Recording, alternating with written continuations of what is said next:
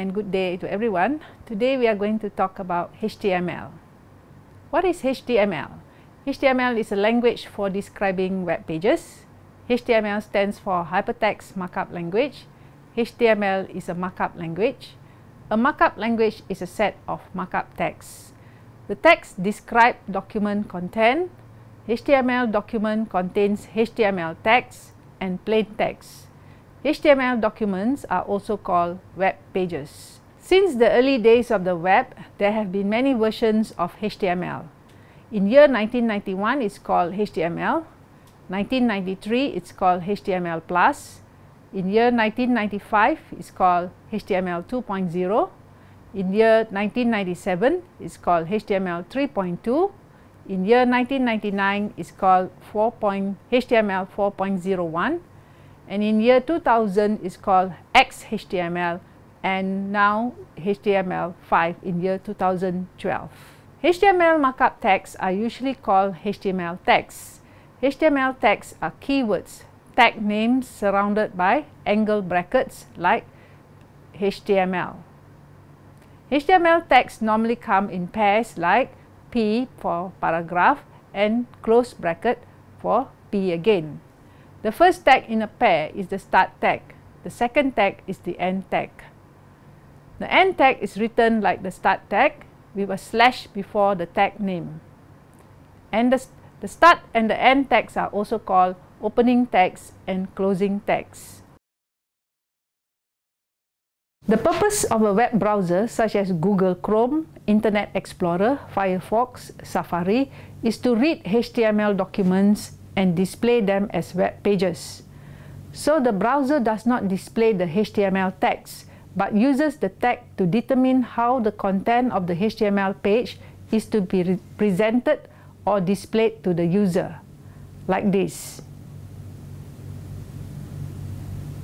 So you will see in the browser my first heading, that is the output of the HTML tag.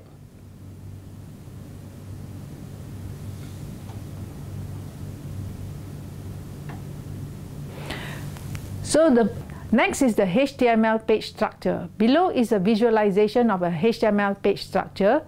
So we have a head that is HTML, okay, and then we have body. And in the body, we can write our header, that is header 1. Then we can write also the paragraph, this is the paragraph. And we can also write another paragraph like this. And we close the tag with a backslash body here, the end bracket, and also we close the whole HTML page structure with a backslash HTML tag. Now I'm going to show you how to write HTML using Notepad or TextEdit. HTML can be edited by using a professional HTML editor like Adobe Dreamweaver, Microsoft Expression Web, CoffeeCup HTML editor, and uh, however, for learning HTML, we recommend a text editor like Notepad for PC or TextEdit for Macintosh. We believe using a simple text editor is a good way to learn HTML. Follow the four steps to create your first web page with Notepad. The first step, step 1, open the Notepad. To open the Notepad in Windows 7 or earlier version, click Start, the bottom left of your screen click All Programs, click Accessories, and click Notepad. To open Notepad in Windows 8 or later, open the Start screen, the Windows symbol at the bottom left of your screen. Type Notepad. Step 2. Write some HTML tag. So how you're going to write the HTML tag is you just now when I explained to you a notepad, you have already opened a notepad. So now we are in the notepad editor. So you write down the HTML and then you have the body tag and write down let's say header 1, my first heading and then close bracket again. Then my first paragraph, you write the tag and slash backslash paragraph again and then close back again the body and then backslash the HTML tag. So this is how you write a HTML tag on a notepad.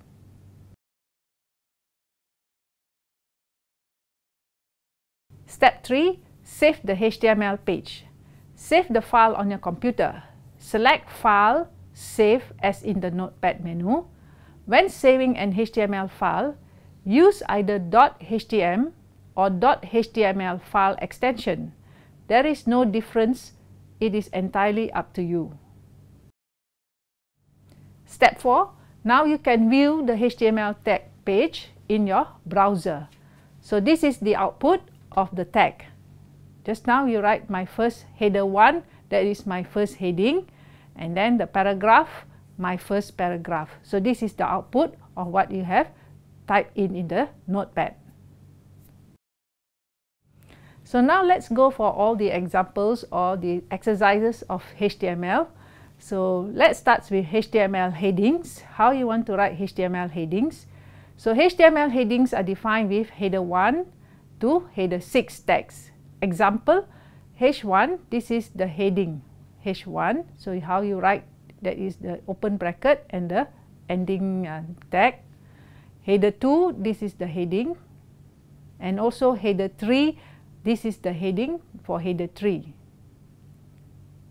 So for paragraph, for HTML paragraph, it is also defined with the P paragraph tag. Okay, so you will open the tag P and this is the paragraph and backslash tag for P, close the tag. And so as the other paragraph, another paragraph, you close with the backslash paragraph again. So this is the output for the heading 1 to heading 6. So you will notice that heading 1 is bigger than heading 2, then heading 3, heading 4, heading 5, and heading 6. So heading 6 is the smallest tag, uh, is the smallest font size. For paragraph, this is the output of the paragraph. So each tag will have a different paragraph. So if you write down three times the paragraph, you will have three paragraph. So this is the output. This is a paragraph, this is a paragraph, this is a paragraph. So three paragraphs. The output of the links will be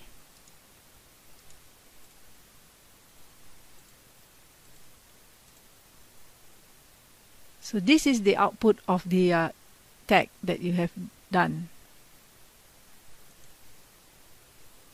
For HTML images, HTML images are defined as in the image tag. So example, image source, you write down the name of the file and the extension is .jpg, JPEG file, alt alternate at w3school.com and you have the width and the height size. So if you do this, you see the output will be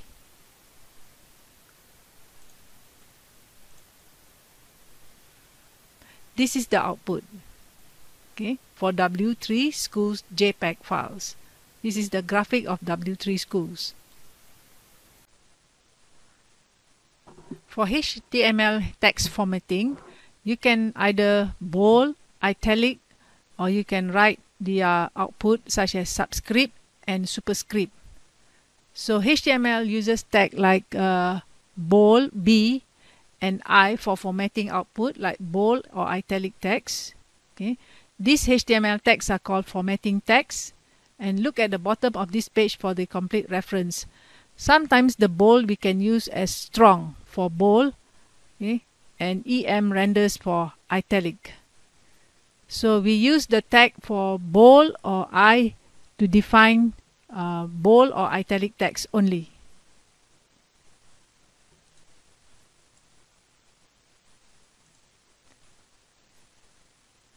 So look at the output when we write bold. This is the text of bold. So you will see that this is the bold text and for italic this is the italic text when it is written as slash i. And this is the computer output. Let's say we write a code. So this is the coding for computer output. And if we, we write the subscript and superscript, this is how we write the code and this is the output for subscript and superscript. The head element, okay, the HTML head element. The head element is a container for all head elements. Elements inside the head can include script, instruct the browser where to find style sheets, provide meta information, and more. The following text can be added to the head section that is title, style, meta, link, script, no script, and base.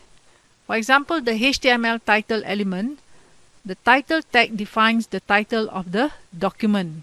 The title element is required in all HTML or XHTML document. The title element defines a title in a browser toolbar, provides a title for the page when it is added to favorites, display a title for the page in search engine result. A simplified HTML document will be, look at this. This is how you type in the tag for the title. It is situated in the head area.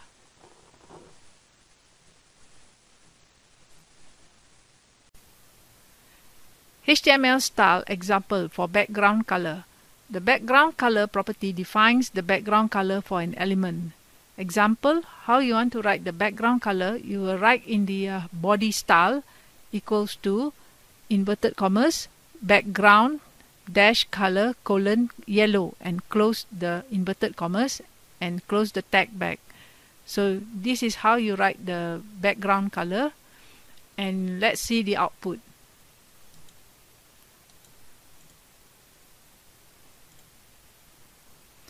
So this is the heading and it is written in uh, red color. Okay. Because the header background color is red and then this is the paragraph and the background color of the text is green. So this is green color for the background of the text. HTML style example for font color and size. The font family color and font size properties defines the font color and size of the text in an element.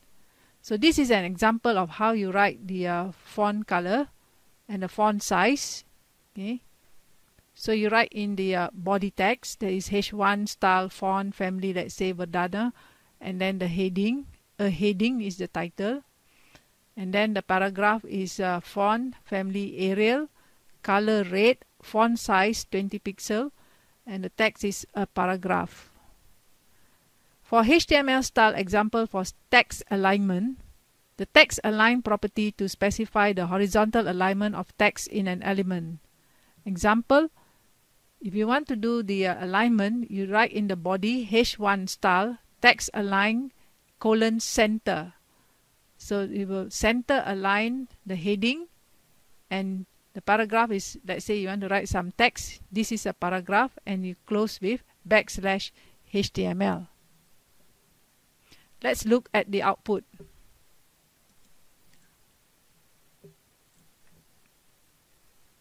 So this is the output for a heading which is a font size uh, header 1 a heading and the red font size because we specify it red and this is a paragraph of size 20 pixel. This is the output for the uh, center align heading where you write text align center and this is the uh, header 1 center align heading. And the next is the paragraph. This is a paragraph. So you can see the difference between the header and the paragraph. HTML images the image img tag and the source src attribute. In HTML images are defined with the image tag. The image tag is empty which means that it contains attributes only and has no closing tag. The display an image on a page, you need to use the source attribute. Source stands for SRC stand for source. The value of the SRC attribute is the URL of the image you want to display. So the dis the syntax that you are going to write is img src that is the source where you want to get the source uh, you write in inverted commas and alternate to some text so the URL points to the location where the image is stored, an image name boat.gif, located in the images directory on the www.treeschools.com has the URL http colon backslash www.treeschools.com images backslash boat.gif. The browser displays the image where the image tag occurs in the document. If you put an image tag between two paragraphs, the browser shows the first paragraph, then the image, and then the second paragraph. For the HTML images set height and width of an image, the height and the width attributes are used to specify the height and width of an image. The attribute values are specified in pixels by default. So image source equals to, let's say smiley.gif, alternate smiley face, and you specify the width 42 inch and the height is also 42. So it is a good practice to specify both the height and the width attributes of an image. HTML tables. Tables are defined with the tag table tags. A table is divided into rows with tr tag. tr stands for table row. A row is divided into data cells with the td tag. td stands for table data. A row can also be divided into headings with th tag. th stands for table heading. The TD elements are the data containers in the table. The TD elements can contain all sorts of HTML elements like text, images, lists, other tables, and etc. The width of the table can be defined using CSS. So this is an example how you want to write the uh, table for HTML tag. So you write table style equals to width 300 pixel and then the table row and then followed by table data.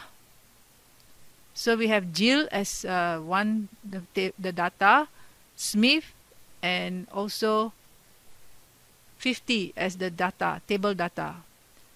And then the next row and then the next row of the table data oh, will be Eve Jackson and 94 and then we close the tag with backslash tr for table row and we close the tag with backslash table. Let's look at the output. So this is the output. Jill, if John is the first row of the table data and this is the second row. Smith, Jackson, Doe and 1594 is another data for the third row.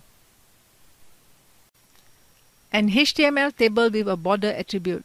If you do not specify a border for the table, it will be displayed without borders. So let's try with borders.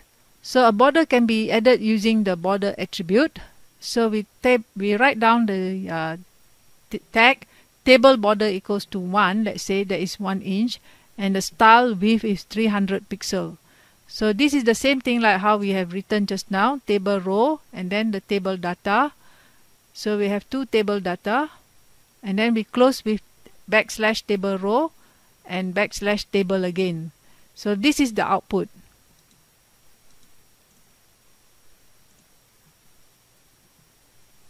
So this is the output where you can see there's a border of 1 inch. Okay. HTML unordered list. An, an unordered list starts with the uh, UL tag. Each list item starts with the uh, LI tag okay, for list order. The list items are marked with bullets, typically small black circles. So if you write uh, UL, that is the unordered list, and then in between you write list. Okay, so you have coffee and then list item. Let's say you have the list item milk. And then you close back with the unordered list. So here is the output. If you write in uh, if you write like that the is uh, output in the browser there is uh, bullet coffee and then bullet milk so this is called unordered list for HTML ordered list an ordered list starts with an OL ordered list tag each list item starts with the LI list item tag. The list items are marked with numbers. So let's say an uh, ordered list and then we start off with the uh, list item coffee and milk and then we have to close with backslash ordered list so the HTML code will look into the uh, looks in the browser like this. Number one for coffee. Number two for milk. So this is called ordered list.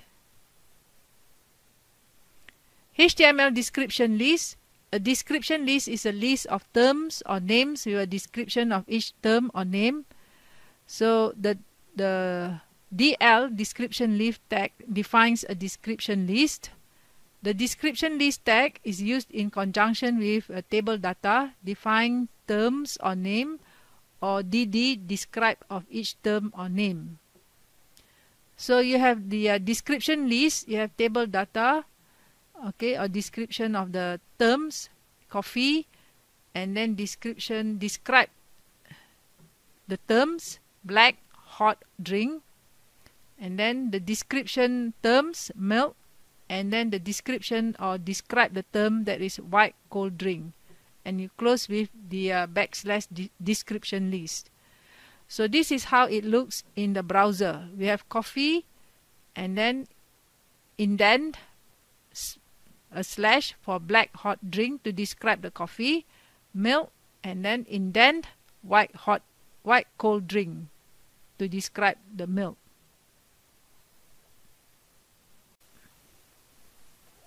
Now I would like to tell you about the HTML layouts using divisions of elements.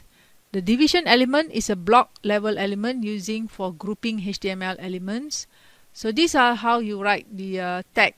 Okay, so you write the body and then you divided it to ID, let's say container, then you have the H1 style margin and then you close the uh, division again you have the background color and then uh, you have the HTML break CSS break and JavaScript.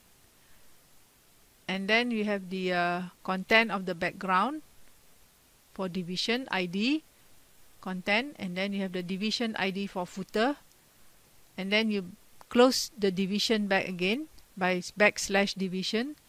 And all this you write in the body okay? And you close in the backslash HTML again so let's look at the output for this tag.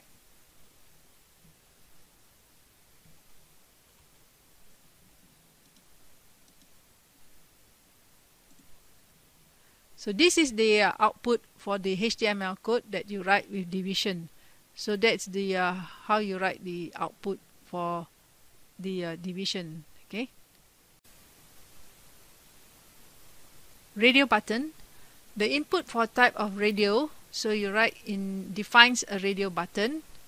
Radio button lets a user use select only one of a limited number of choices. So this is how you write the uh, tag for radio button. That is form input type equals to radio name is whatever text that you want to write and then you have the value okay? And you have the male break let's say we put in for sex and then input type radio name let's say sex for female and female so we close back the form and this is how it looks in the uh, browser so it is a radio button where the user can only choose once either male or female okay for check boxes Input type is checkbox. Define a checkbox. Checkboxes let a user select zero or more options of a limited number of choices. So the form input type checkbox name vehicle value is equals to bike and let's say they write the text of I have a bike. Input type let's say checkbox name as a uh, vehicle again value car I have a car and close back the form so this is the output, how the HTML code above looks in a browser. I have a bike and I have a car, so the user can check, tick which checkbox they have.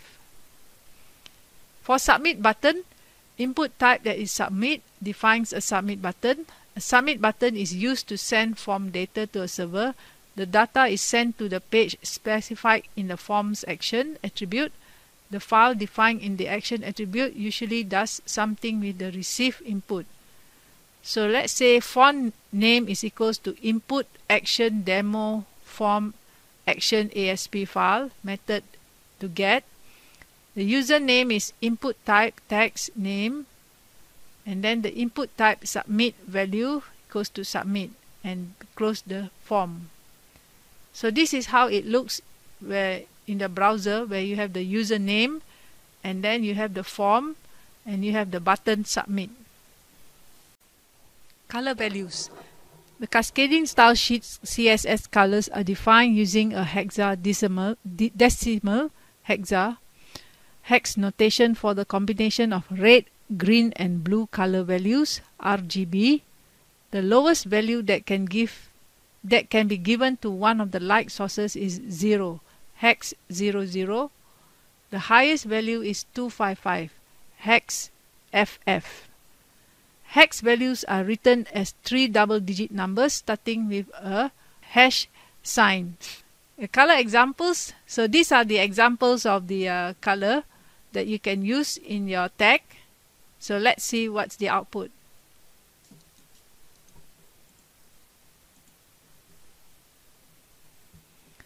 So when you look at the output, this is how you write the uh, background color. Let's say hash FFF, okay?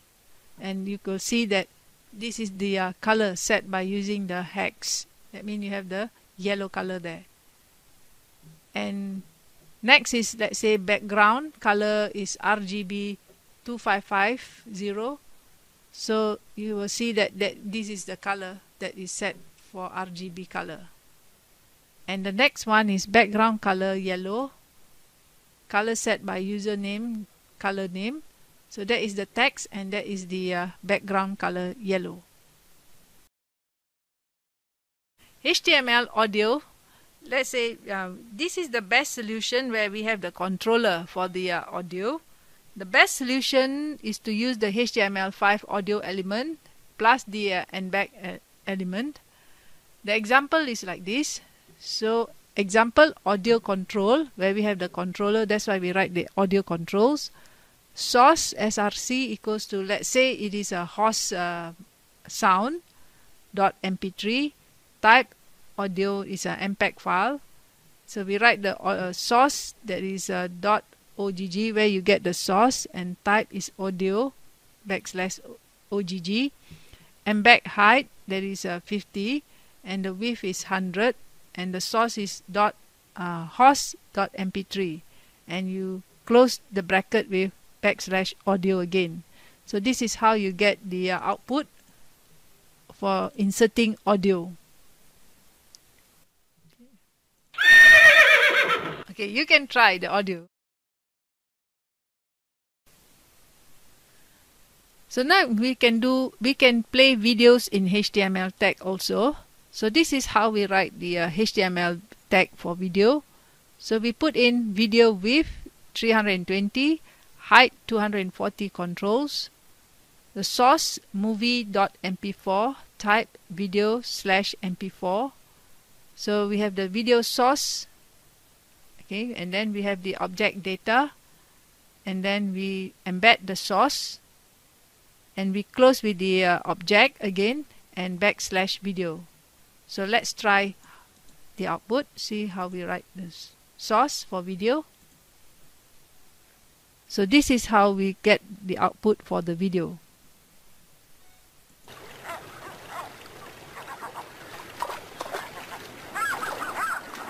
Okay. Playing a YouTube video in HTML. If you want to play a video in a web page, you can upload the video to a YouTube and insert the proper HTML code to display the video. So example if YouTube with iframe, you write the tag with iframe width, let's say 420, height 345, and you write the source with the full URL, okay, address, and you close with iframe.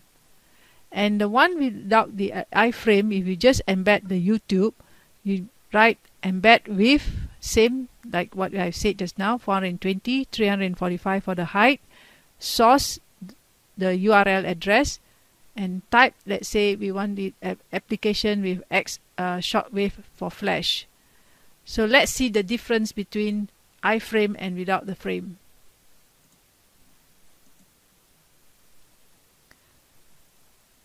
So this one is the YouTube with the frame and without the frame. So the YouTube without the frame.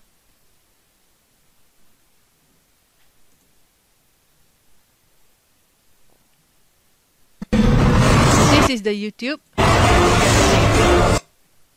So I have talked about the uh, HTML tag and I'm introduced to you all the uh, HTML.